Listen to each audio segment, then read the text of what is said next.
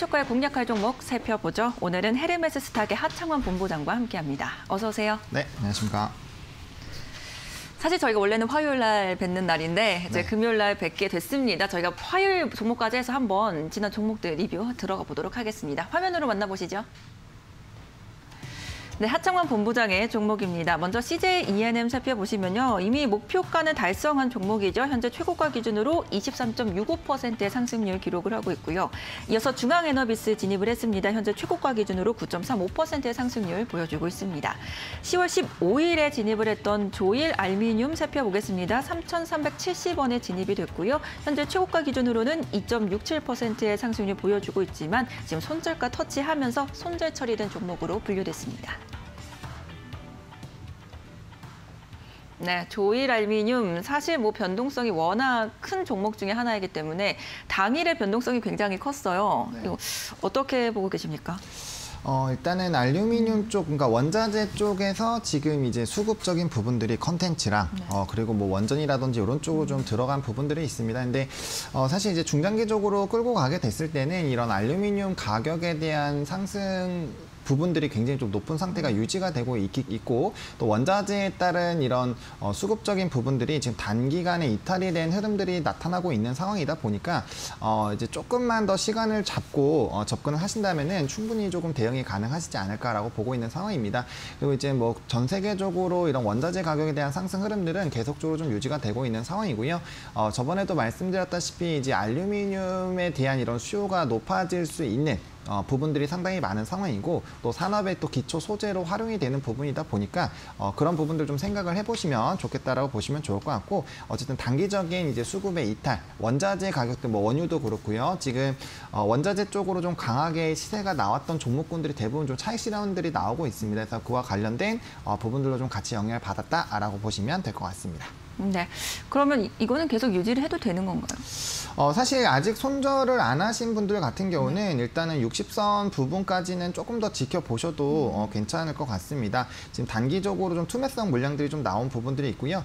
어, 물론 지금 이제 이 단기적으로 이 매물대 라인을 조금 이탈을 한 부분들은 있는데 이 60선 라인까지는 좀 2차 매물대 라인까지 좀 걸려 있는 부분들이 있고요. 아직까지는 알루미늄 가격에 대한 이런 이 가격 시세가 엄청나게 좀 줄어 들 만큼의 가격 하락이 나타나고 있지는 않습니다. 그러다 보니까 일단은 이 지지선에서 좀 반등이 나오는지를 좀 체크를 해보시면 좋을 것 같고요. 해당 라인에서 이제 반등이 나오기 시작할 때 바로 추가 매수를 하시는 것이 아니라 이제 이렇게 조금 횡보를 해주면서 이평선 좀 자리 잡아줄 필요는 있습니다. 지금 단기 평선들 같은 경우는 어, 단기적인 아무래도 좀 수익권에 계신 분들이 많이 있었기 때문에 차익 실현 매물들이 좀 쏟아져 나오고 있는 부분들이 있습니다. 그래서 그런 물량들이 나오면서 이제 바닥 다지는 거 체크하시고 다시 한번 이제 재상승이 나올 때 그때 어, 조금 비중을 확대하시면서 어, 빠르게 시세 분출될 때 이제 정리하시고 나오시는 관점으로 어, 대응을 해보시면 어, 괜찮겠다라고 말씀을 드려보도록 하겠습니다.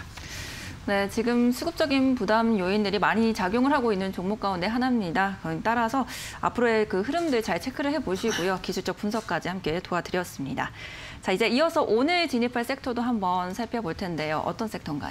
물류 유통 섹터라고 말씀을 네. 드리도록 하겠습니다.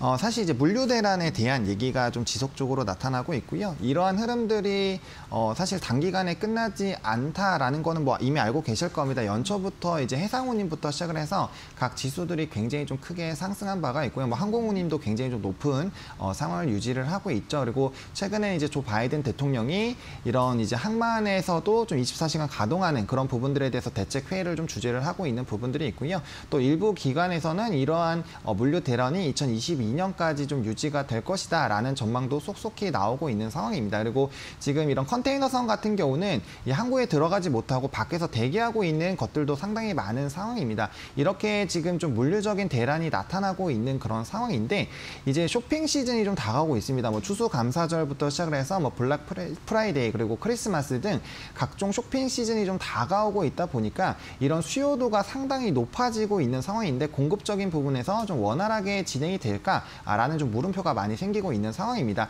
아무래도 이런 유통에 대한 어, 문제가 발생이 되게 됐을 때 이제 물류 관련된 종목군들의 시세가 어, 이제 수익적인 부분에서 상당히 좀 좋은 업황이 마련이 될 수 있기 때문에 이런 이제 수혜가 나타날 것으로 기대가 되고 있고요. 이러한 관련된 움직임들이 사실 앞서 말씀드린 것처럼 단기간에 끝나지 않는다라고 했을 때 실적적인 부분에서 상당히 단기간에 좋아질 수 있다라는 점을 봤을 때 뭐 HMM이나 이제 페노션 같은 종목군들이 굉장히 좀 큰 시세가 나왔었던 부분들도 이런 물류에 따른 이제 지수 상- 상승 그리고 그에 따라 이제 실적적인 부분들이 상당히 많이 좋아지면서 긍정적인 좀 어, 시세가 분출이 됐었습니다. 그래서 그러한 관련된 관점으로 이 물류 섹터를 좀 보시면 좋을 것 같고요.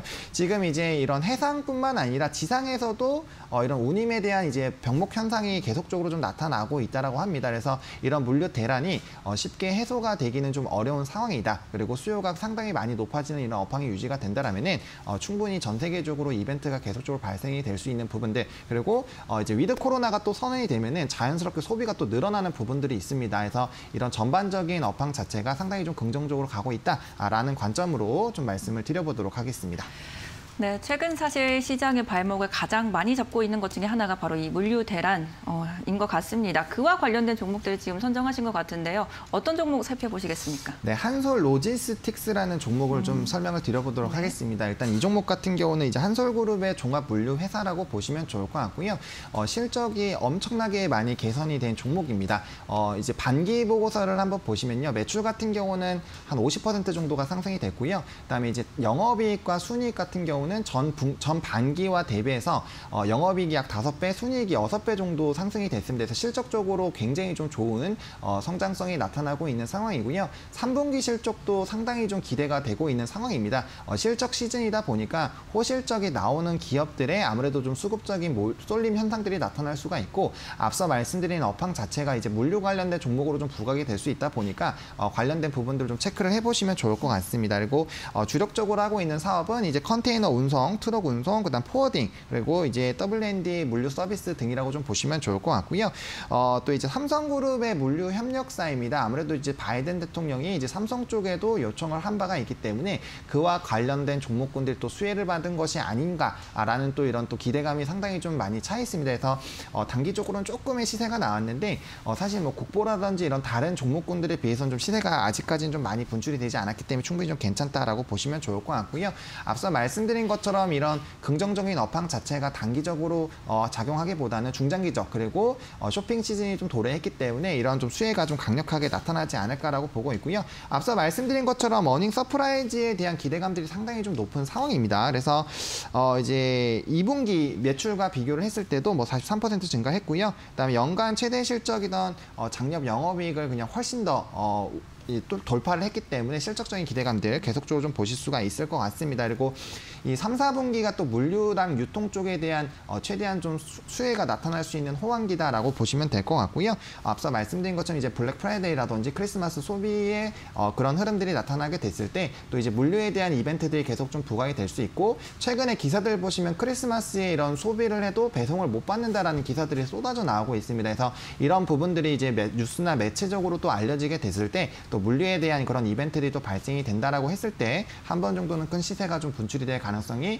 상당히 높다라는 관점에서 이 종목을 좀 보시면 좋겠다라고 말씀을 드려보도록 하겠습니다. 네, 목표가 손절가 함께 선정을 해주시죠. 네, 일단은 뭐 매수 같은 경우는 시초가 충분히 좀 괜찮다고 보고 있고요. 만약에 조금 뭐 시장의 변동성이나 이런 부분들이 좀 불안하신 분들은 어, 21선까지 좀 분할로 좀 접근을 해보시면 좋겠다라고 보시면 좋을 것 같고요. 그다음에 이제 목표가는 전고점으로 좀 제시를 드리도록 하겠습니다. 5,750원 1차적으로 좀 제시를 드려보도록 하겠고요. 어, 손절 라인 같은 경우는 4,250선입니다. 사실 조금 더 길게 보시는 분들 같은 경우는 3,900원 라인까지 좀 보실 수가 있는데 단기적으로 또 요 해당 박스권 라인이 좀 뚫게 됐을 땐 좀 강하게 하방이 열 수가 있기 때문에 어, 4,250원으로 이제 윗박스권 상단 라인으로 좀 제시를 좀 드려보도록 하겠고요. 해당 라인부터 최근에 이제 지지가 나오면서 한번 시세가 분출이 됐기 때문에 어, 이러한 좀 지지 후 반등이 나올 때는 한 번 더 이제 추가적으로 적어도 이 상단 라인까지 한번 가 줘야 되거든요. 그렇기 때문에 어, 그 추세들을 좀 살아 있게끔 보게 된다라면은 어, 4,250원을 좀 손절 라인으로 딸 짧게 좀 잡으셔도 어, 괜찮겠다라고 좀 정리를 드려보도록 하겠습니다.